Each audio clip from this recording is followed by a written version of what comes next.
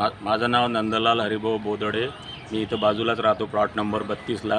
मी सेवानिवृत्त सहाय्यक अभियंता आहे. महाराष्ट्र राज्य वीज वितरण कंपनीमध्ये अभियंता होतो. दोन हजार सतरा साली रिटायर झालो. इथं कुटुंबासह राहतो. इथं येण्या जाण्याला कमीत कमी इथं गुडघाभर पा पाऊस थोडासा जरी पाऊस आला तरी गुडघाभर पाणी साचते इथं.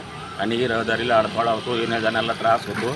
आणि हे जे बांधकाम चालू आहे माझ्या राईट हँड साईडला माझ्या उजव्या बाजूला या आसारे इथं रस्त्यावर कट करतात. अर्ध्या रस्त्यात आसाऱ्या पसरलेल्या होत्या त्याचे फोटो पण मी तुम्हाला देऊ शकतो. आणि ही वाळू त्यांनी आता सरकवलेली आहे पुढे. ती पण रस्त्यात होती. बरीचशी रस्त्यात होती. आणि ओपन स्पेस नाही केलं नगरपालिकेने. यशोदानगर एरिया आहे हा. त्याला अद्यापही कुंपण नाही केलं.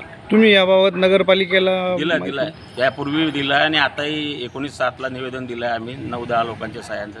त्यात गणेश डेअरी आहे डेअरीवाले यांच्या पण सह्या आहे. बाकीचे काही शिक्षक लोक आहेत इथं त्यांच्याही सह्या आहेत आणि शिवाजी शिंदे यांनी पण दिली आहे त्यांच्या पेपरला बातमी. ती बातमी तुम्हाला देतो मी वाटल्यास लागत असेल तर. नमस्कार मी भगवान गणपत पाटील. यशोदानगर बडगाव रोड पाचोरा येथील रहिवासी असून ही आमची सर्वात जुनी वसाहत आहे तसं पाहायला गेलं तर. परंतु नागरी सुविधांच्या बाबतीत कमालीचं दुर्लक्ष या कॉलनीकडे पहिल्यापासून आहे.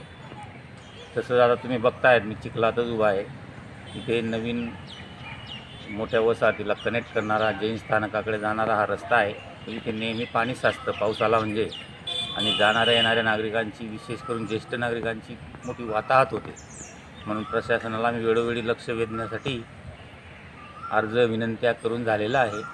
परंतु ते आमचं तात्पुरतं समाधान करून प्रत्यक्षात कृती काही होत नाही. तर आमची ही तुमच्या माध्यमातून विनंती आहे. की आमच्या समस्यांकडे लक्ष देण्यात यावं आणि आमची ही समस्या सोडवावी ही विनंती.